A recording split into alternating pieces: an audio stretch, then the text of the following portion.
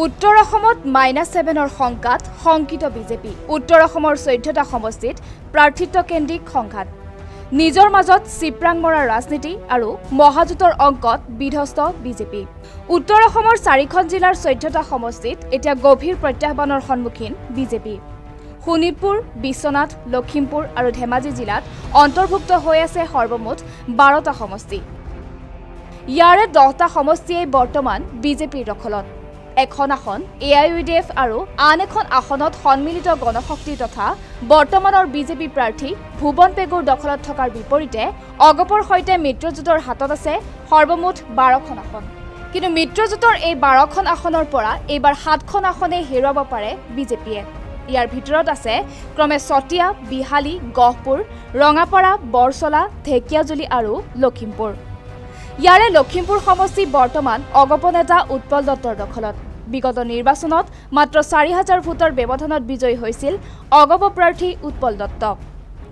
উৎপল দত্তৰ বিজয়ৰ আঁৰত আছিল কংগ্ৰেছৰ মাজত ভোট বিভাজন। দুহেজাৰ ষোল্ল চনৰ নিৰ্বাচনত কংগ্ৰেছৰ হৈ প্ৰাৰ্থিত্ব প্ৰদান কৰিছিল জয়প্ৰকাশ দাসে। অন্যহাতে কংগ্ৰেছৰ টিকট বঞ্চিত প্ৰাক্তন বিধায়ক ঘন বুঢ়াগোহাঁয়ে নিৰ্দলীয়ভাৱে অৱতীৰ্ণ হৈ লাভ কৰিছিল তেইছ হাজাৰ ভোট। সেই অনুসৰি এইবাৰ ভোট বিভাজন নোহোৱাৰ ফলত বিজয় নিশ্চিত হৈ ৰৈছে কংগ্ৰেছ প্ৰাৰ্থী জয়প্ৰকাশ দাসৰ। বিপৰীতে মিত্ৰজোঁটৰ প্ৰাৰ্থী হিচাপে বিজেপিৰ মানৱ ডেকাই লখিমপুৰত প্ৰাৰ্থিত্ব প্ৰদান কৰাৰ উপৰিও প্ৰাৰ্থিত্ব প্ৰদান কৰিছে অগপৰ উৎপল দত্তই। এনে এক পৰিস্থিতিত মিত্ৰজোঁটৰ ভোট বিভাজন ঘটি লখিমপুৰত কংগ্ৰেছৰ বিজয় দুগুণলৈ বৃদ্ধি ঘটিছে। ঢেকীয়াজুলি সমষ্টি বৰ্তমান বিজেপিৰ দখলত। দুহেজাৰ ষোল্ল চনৰ নিৰ্বাচনত বিজেপিৰ অশোক সিংহালে লাভ কৰিছিল এসত্তৰ হাজাৰ ভোট। অন্যহাতে কংগ্ৰেছ প্ৰাৰ্থীজনে লাভ কৰিছিল ছয়ত্ৰিছ হাজাৰ vote. A I U D এফে লাভ কৰিছিল ষোল্ল হাজাৰ ভোট আৰু কংগ্ৰেছৰ টিকট বঞ্চিত নিৰ্দলীয় প্ৰাৰ্থী বেণুধৰ নাথে লাভ কৰিছিল আঠ হাজাৰ ভোট।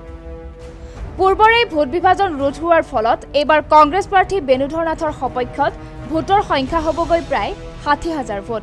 কিন্তু দুহেজাৰ এঘাৰ চনৰ নিৰ্বাচনত বি পি এফৰ প্ৰাৰ্থী বিবেক বৰাই ঢেকীয়াজুলিত লাভ কৰিছিল প্ৰায় ষোল্ল হাজাৰ ভোট। দুহেজাৰ ষোল্ল চনৰ নিৰ্বাচনত সেই ষোল্ল হাজাৰ ভোট পৰিছিল বিজেপিৰ সপক্ষত। এতিয়া বি পি এফৰ সমৰ্থন কংগ্ৰেছ মহাজোঁটলৈ অহাৰ লগে লগে ঢেকীয়াজুলি বিজেপিয়ে হেৰুৱাটো নিশ্চিত হৈ পৰিছে। ৰঙাপাৰা সমষ্টি বৰ্তমান বিজেপিৰ দখলত। বিগত উপ নিৰ্বাচনত প্ৰায় পঞ্চাছ হাজাৰ ভোটৰ ব্যৱধানত ৰঙাপাৰা সমষ্টিত বিজয় সাব্যস্ত কৰিছিল বিজেপিৰ ৰাজেন বৰঠাকুৰে। ৰঙাপাৰা সমষ্টিত এইবাৰ প্ৰাৰ্থিত্ব প্ৰদান কৰিছে ক্ৰমে বিজেপিৰ কৃষ্ণকমল তাঁতী কংগ্ৰেছৰ অভিজিৎ হাজৰিকা অজাপৰ অজয় তাঁতী আৰু ৰাইজৰ দলৰ বিজয় তিৰুৱে।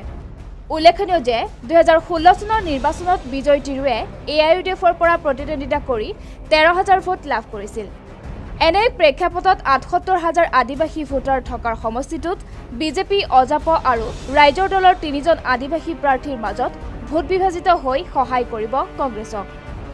অন্যহাতে সমষ্টিটোত থকা প্ৰায় চৌত্ৰিছ হাজাৰ সংখ্যালঘু ভোটে বিশেষভাৱে সহায় কৰিব কংগ্ৰেছ মহাজোঁটক। এনে এক প্ৰেক্ষাপটত এইবাৰ ৰঙাপাৰাও হেৰুৱাব পাৰে বিজেপিয়ে। এইদৰে বিজেপিৰ দখলত থকা বৰচলা সমষ্টিও এইবাৰ হেৰুৱাব লাগিব বিজেপিয়ে। দুহেজাৰ ষোল্ল চনৰ নিৰ্বাচনত বৰচলাত বিজেপিৰ গণেশ লিম্বুৱে লাভ কৰিছিল তেপন্ন হাজাৰ ভোট। অন্যহাতে কংগ্ৰেছে ত্ৰিছ হাজাৰ ভোট আৰু এ আই ইউ ডি এফে লাভ কৰিছিল তেইছ হাজাৰ ভোট। সেই অনুসৰি মহাজোঁটৰ অংকত এইবাৰ বৰচলাও হেৰুৱাব বিজেপিয়ে। Congress A I U D F আৰু বি পি এফৰ মিত্ৰতাৰ একেটা অংকতে এইবাৰ চতিয়া হেৰুৱাব লগা হ'ব পাৰে বিজেপিৰ পদ্ম হাজৰিকাই। বিগত নিৰ্বাচনত পদ্ম হাজৰিকা বিজয়ী হৈছিল ওঠৰশ ভোটৰ ব্যৱধানত। কিন্তু মিত্ৰজোঁটৰ একত্ৰিত ভোটে অনায়াসে অতিক্ৰম কৰিব এইবাৰ এই ব্যৱধান। বিজেপিৰ দখলত থকা বিহালী সমষ্টিও এইবাৰ যাব পাৰে মিত্ৰজোঁটৰ হাতলৈ। চি পি আই এম এলৰ নেতা তথা মিত্ৰজোঁটৰ প্ৰাৰ্থী বিবেক দাস অতি জনপ্ৰিয় নেতা চাহ জনগোষ্ঠীয় ভোটাৰৰ মাজত। চাহ শ্ৰমিকৰ মজুৰি বৃদ্ধিক লৈ দীৰ্ঘদিনে সংগ্ৰাম চলাই অহা বিবেক দাস বিপুল সমৰ্থন লাভ কৰিব আদিবাসী ভোটাৰৰ। উল্লেখযোগ্য যে বিহালী সমষ্টিৰ ষাঠি শতাংশ ভোটাৰেই চাহ জনগোষ্ঠীয় ভোটাৰ। এনে এক প্ৰেক্ষাপটত বিহালীক লৈও এতিয়া সংকটত পৰিছে বিজেপি। অন্যহাতে বিজেপিৰ দখলত থকা গহপুৰ সমষ্টিত এইবাৰ প্ৰতিদ্বন্দ্বিতা কৰিছে কংগ্ৰেছৰ ৰিপুণ বৰাই। সমষ্টিটোত ছাব্বিছ হাজাৰ বড়ো ভোটাৰ থকাৰ বিপৰীতে সংখ্যালঘু আৰু ভোটাৰৰ সমৰ্থনত এইবাৰ গহপুৰ কংগ্ৰেছে দখল কৰাটো প্ৰায় নিশ্চিত হৈ পৰিছে। এই সাতটা সমষ্টিৰ উপৰিও বিহপুৰীয়া সমষ্টিটো এইবাৰ সুবিধাজনক স্থিতিত নাই। বিজেপি। একেদৰে বৃহৎ সংখ্যক বড়ো ভোটাৰ থকা জোনাই আৰু ধেমাজি সমষ্টিত এইবাৰ বিশেষভাৱে সলনি হ'ব পাৰে ৰাজনৈতিক পথ।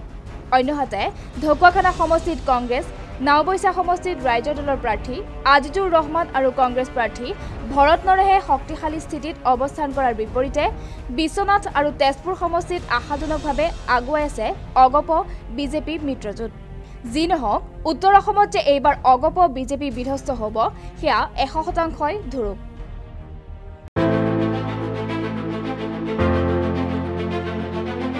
কাৰাগাৰৰ পৰা মই অখিল গগৈয়ে কৈছোঁ শ্ৰদ্ধেয় এশ আঠ নং শিৱসাগৰ সমষ্টিবাসী ৰাইজ দুহেজাৰ একৈছ চনৰ অসম বিধানসভাৰ নিৰ্বাচনত মই কাৰাগাৰৰ পৰাই ঐতিহাসিক শিৱসাগৰ সমষ্টিত ৰাইজৰ দলৰ প্ৰাৰ্থীৰূপে প্ৰতিদ্বন্দ্বিতা কৰিছোঁ।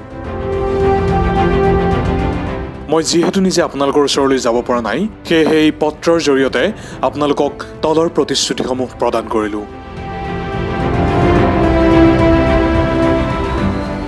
বিধানসভাত অসমৰ প্ৰতিটো জাতীয় স্বাৰ্থত আপোচবিহীনভাৱে মই মাত মাতিম আৰু অসম বিৰোধী সকলো কাম প্ৰতিৰোধৰ চেষ্টা কৰিম।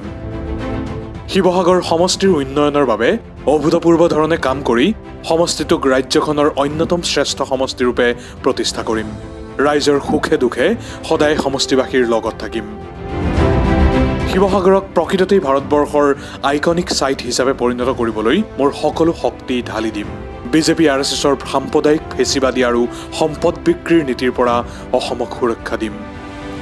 শ্ৰদ্ধেয় ৰাইজ কা বিৰোধিতাই মোৰ অপৰাধ। মোক এবছৰ তিনি মাহৰ বেছি সময় পতাশালত ৰখা হৈছে।